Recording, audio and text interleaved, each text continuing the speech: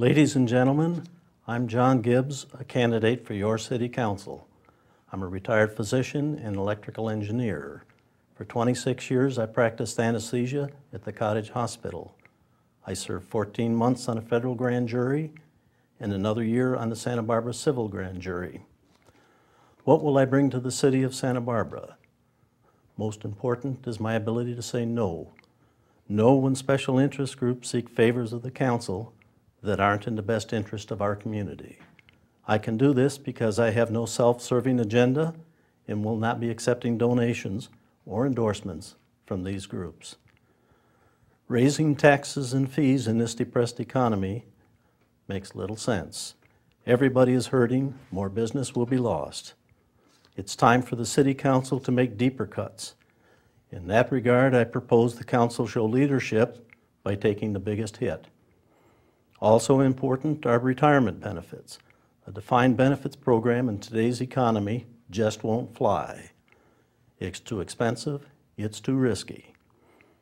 The current problem of reducing expenses through uncompensated time off is not a good answer. We deserve a full-time government. Capital expenditures merit our attention. Millions for bulb outs need to go the way of the little blue line.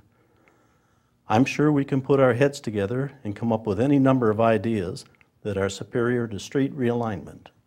Measure B needs to be passed, period. Regarding gangs and graffiti, is there anything wrong with a little tough love?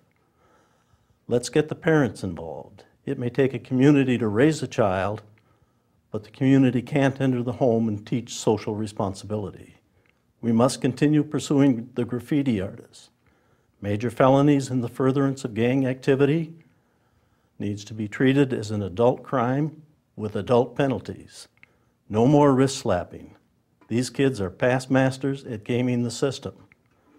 We can't put an end to homelessness, but we can curtail aggressive panhandling.